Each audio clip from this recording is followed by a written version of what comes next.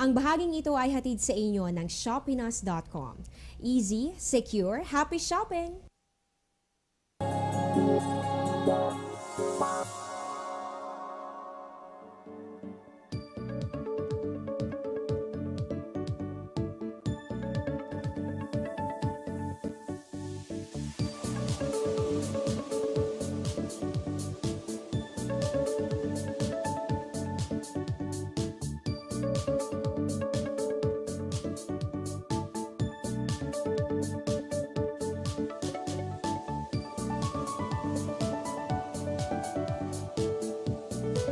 Magandang umaga Pilipinas, kayo po ay nakatutok pa rin sa Panahon TV. Para sa mga silinophile o yung moon lovers natin, narito ang datos mula yan sa pag-asa. Unahin natin, para sa ating moonrise, yan po ay 6.50 ng umaga, habang yung moonset naman natin, 6.32 ng gabi.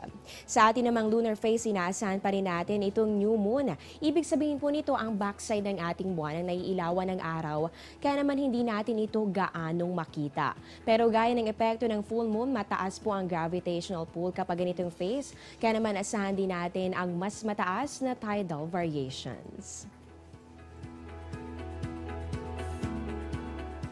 And speaking of tides, narito naman po ang impormasyon mula po yan sa NAMRIA o yung National Mapping and Resource Information Authority.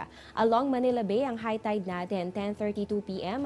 Posible po yung umabot ng 1.08 meters at ang low tide naman 6.14 ng umaga. So maya-maya lamang po yan, posible itong umabot ng 0.18 meters.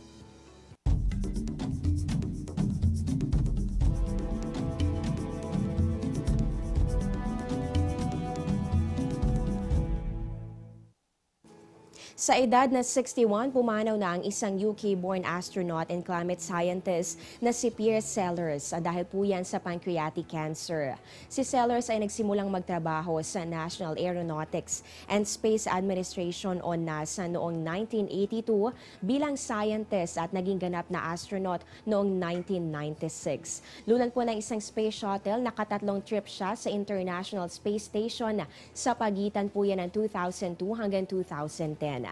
Si Sellers din ang Deputy Director of Sciences and Exploration sa NASA Goddard Space Flight Center mula noong 2011. Bago po siya mamatay, nag-iwan pa siya ng mensahe sa pamamagitan ng isang short video na nais pong iparating sa global community. Sa kanyang mensahe, hinikayat niya ang mga siyentista, policymakers at ganun din ang industrialists na magtulong-tulong sa pagprotekta sa ating planeta.